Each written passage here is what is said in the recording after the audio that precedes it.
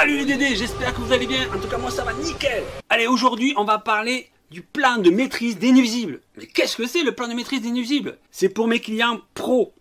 Je vous explique tout ça. Mais maintenant, c'est le jingle.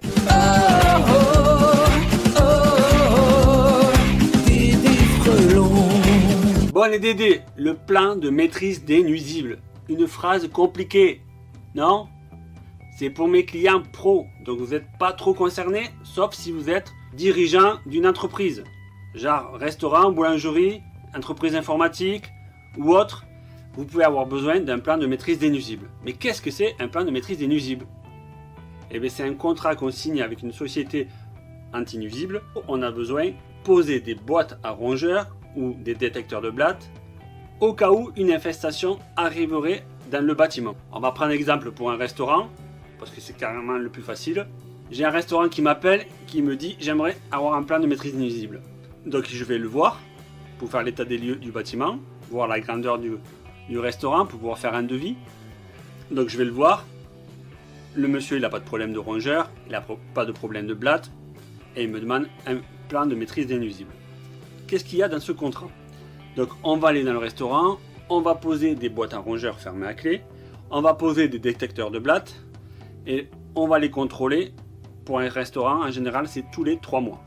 Après, tout dépend du client, qu'est-ce que fait le client, s'il y a de la nourriture ou pas.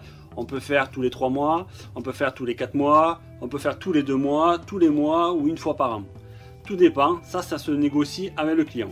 Un restaurant, vous comprenez bien, il y a de la nourriture, il y a de la chaleur, il y a de l'humidité en cuisine, euh, donc il y a plein d'éléments qui fait que euh, on peut avoir des problèmes de rongeurs ou de blattes. Si vous êtes dans une grande ville, si vous êtes à la campagne, vous allez voir que même à la campagne, on peut avoir des problèmes de rongeurs ou de blattes, que en ville aussi.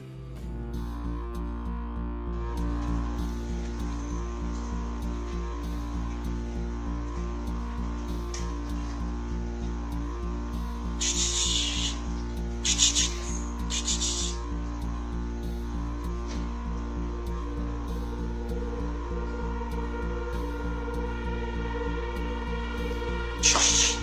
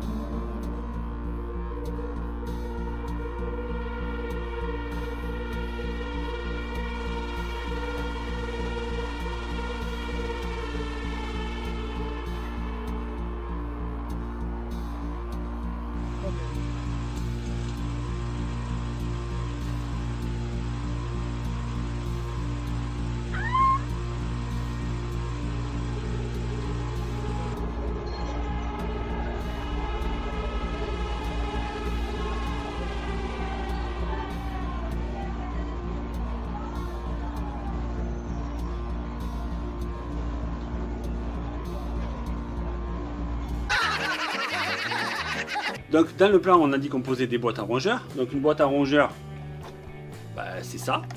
Là, on est sur une boîte à souris. Je vous montre. Fermée à clé. Très solide, ça résiste à l'eau. Ici, vous avez l'ouverture pour que la souris rentre et mange le produit. Le produit est à l'intérieur et il ne peut pas tomber. Donc la boîte est fermée à clé. On l'ouvre. Vous voyez? On n'a pas. Donc on a dit que la souris a passé par là. Elle vient ici, elle grignote et elle repart et elle meurt au bout de 5 jours. Elle va pas mourir dans la boîte, elle meurt au bout de 5 jours. Tous les raticides font en sorte que les rongeurs meurent au bout de 5 jours. Si vous avez une souris qui mange quelque chose, qu'elle meurt de suite, sa copine à côté, elle va donner l'information à tout le monde, et après, ben, le, poison ne marchera plus. Donc une boîte sécurisée. Vous avez la même chose pour les rats, en beaucoup plus gros.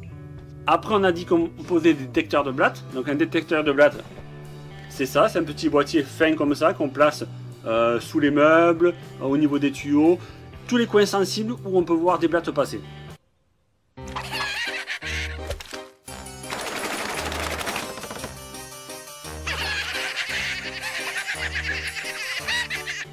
Donc vous allez voir, je l'ouvre. Donc ça c'est pas fermé à clé par contre. Vous avez une petite plaque glue où il y a un phéromone dans la colle qui attire la blatte. Donc la blatte va passer ici, elle va se coller. Et nous, quand on vient contrôler ça tous les trois mois, par exemple, on contrôle, on voit une blatte, qu'est-ce qu'on fait? On se dit, il faut faire un traitement. Donc là, on va appliquer un gel anti-blatte. Donc le gel anti-blatte, bah, c'est ça, hein. c'est ce style-là. Vous voyez? C'est comme un petit pistolet, on s'amuse, on est là. On arrive devant les blattes, on fait... On fait... Vous voyez, bon, on s'amuse un petit peu.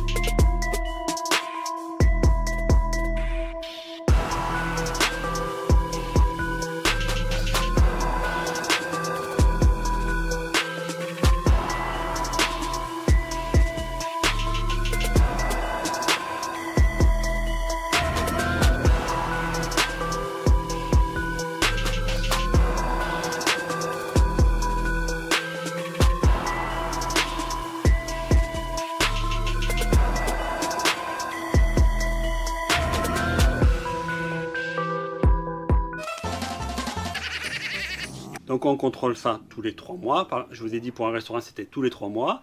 Donc on a un classeur de suivi où il y a nos fiches techniques des produits, il y a notre coordonnées, il y a notre assurance et à l'intérieur il y a un plan. Donc on demande au client avant de commencer un plan du bâtiment. Et sur les boîtes, vous allez voir par exemple sur cette boîte, ici on va noter un numéro. Ici il y a les consignes de sécurité, mais là on va marquer un numéro. Donc toutes les boîtes seront numérotées. Moi, par exemple, euh, toutes les boîtes à souris, je vais l'appeler S01, S02. Vous voyez Si c'est une boîte à rage, je vais l'appeler R01, R02. Et si c'est un détecteur de blattes, je vais l'appeler B01, B02, etc., etc. Et on note ça sur le plan. Le plan, on le met dans le classeur. Dans le classeur, il y aura aussi un rapport d'intervention. Ça veut dire qu'à chaque fois qu'on va passer, on va marquer quel numéro de boîte a été touché, pas touché, s'il n'y a rien à signaler, si la boîte a été touchée, on va dire, euh, ben, par exemple, la S3 a été touchée. Voilà. Et quand on repasse trois mois après, on, vérifie notre ancien rapport, on contrôle les boîtes et on voit s'il y a eu une amélioration ou pas.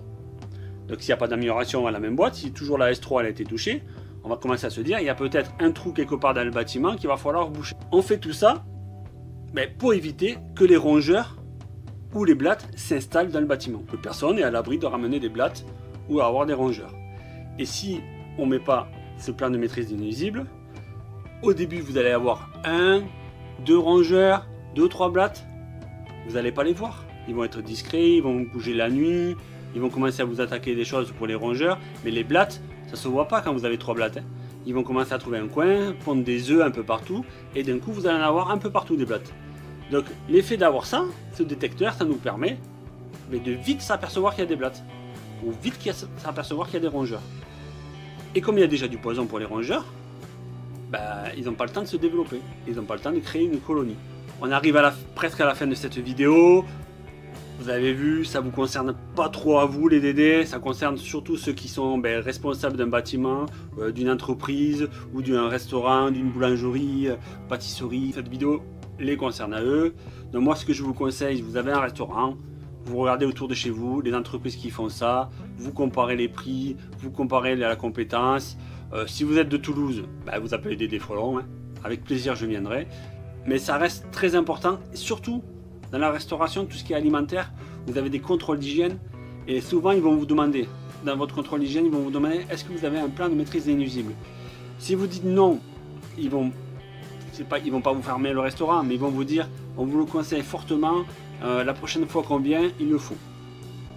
Donc autant anticiper, vous arrivez, il y a le classeur que la société vous a donné, vous avez le contrôleur qui arrive, vous donnez le classeur, il ouvre le classeur, il voit le plan, il voit où sont placées les boîtes, il voit les rapports. Entendu, si le restaurant il est crado, sait pas faire la cuisine par exemple, euh, le contrôleur d'hygiène il va contrôler ça aussi. Il contrôle pas que la dératisation, il contrôle tout.